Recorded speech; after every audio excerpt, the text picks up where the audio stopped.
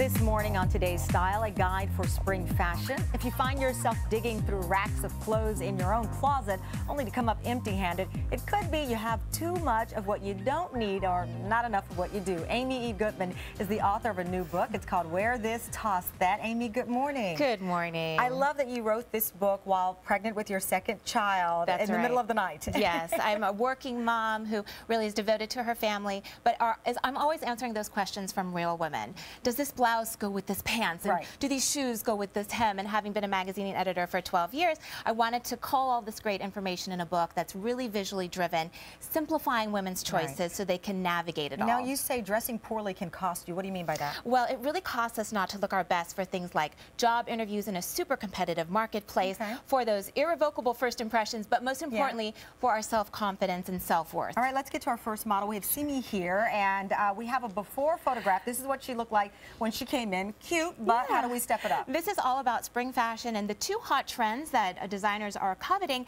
is the stripe here with a really horizontal stripe in a baggy sweater, Okay. and the 1970s inspired jean pant. So here she So- is now doing it the right way. Yeah, those bell bottoms before were totally weighing her down. Now it's about proportion with the stripe by the sweater from Lucky Brand. The stripes are thinner, they're placed closer together. The rule with this, petites wear smaller prints. If you have a larger frame, a bigger print. We've tucked it very gently into these nice pants from Bloomingdale's. And this is more of a flare jean, a, not really a full belt bottom, and it really suits to counterbalance her gorgeous hips. Now that we see she has a waist, we can belt it here with a, a nice medium width belt. And this is from uh, Bowden. And last but not least, layered necklaces, elongating her gorgeously petite frame even more. I think it's a really timeless and chic look that she can wear now this spring, but uh, throughout the It's summer. It's amazing when you look at the before and after. I mean, Yes. similar, just a few changes there, but it looks really good. You look great, Simi. Yeah.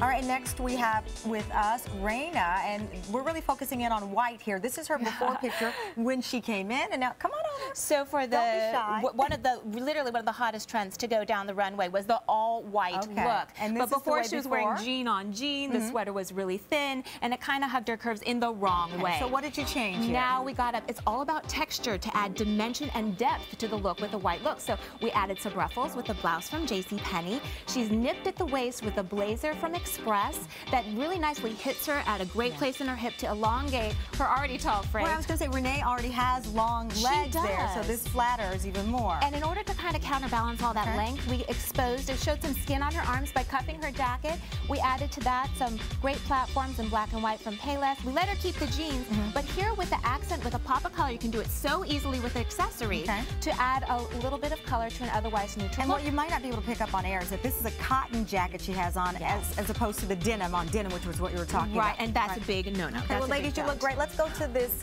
table here. Thank you both, and you're going to show us what to toss out and what we can keep. What do we have here? For spring accessories, Okay. when it comes to shoes, go for the platforms. They're totally hot, and in this season, like this cutie patootie from Betsey Johnson, Okay. the thing to avoid is the flat. This is the flat form. It's a flat with a platform. You want to toss these. So They're you want to toss these. nearly impossible to walk in. Right, they're not cute either. And then you want to keep, keep these. Okay, these are good. Okay, and what about the flats here? So flats of every variety, but certainly the strappy sandals are absolutely red hot. Avoid the super skinny heel like stilettos. Toss them to the back of your closet because they'll come out another season. All right, so super strappy, and then get rid of the, The skinny heel. And what do we do with our handbags here? So one of the it bags of the season is going to be the oversized tote, but there is such a thing as completely overwhelming your frame. Right. So particularly for you, you're very petite, you would go for an oversized tote that is proportional to your frame. So maybe one to two inches How bigger you know than you right normally proportion? would. I mean, you so when you're side? petite, you want to go to your side. You want a bag that doesn't go dip much farther than your waistline. Okay, good, good. So forego the super big tote. And That's now, right. what about jewelry? What do we toss? What do we keep? I love statement necklaces that are layered because you can trip them up every single time a little bit differently. Um, here from Sorrelli and Nichelle, they're absolutely gorgeous and so easy to wear and really elongate your frame. Skip the chokers because it really takes like a swan's neck to pull them off and also they can really enhance like a double chin. And you know, with all these tosses, if it's something that's still wearable, give it to charity. So toss the choker, go for long and lean, and what do we do with our Exactly. belts and here? for the belts, the Obi belt is really hot and in, but it really adds girth and, and weight to the, No to one the midriff. wants that. Nobody wants that. So go for a great medium belt. I call this the uh, you know the save me of belts because it looks good in any fashion situation. okay, and what about thin belts? Sometimes you worry you get lost. We saw them everywhere on the red carpets. Long gossamer gowns, nice little skinny belts. The rule here: the skinnier the belt is, the thinner the fabrication. Souls. All right, Amy. It's so good to see you. Good tips there. And the book again is Thank called Wear this, toss that, Amy Goodman. Thank you. And thanks to our models. They look great. Up next, an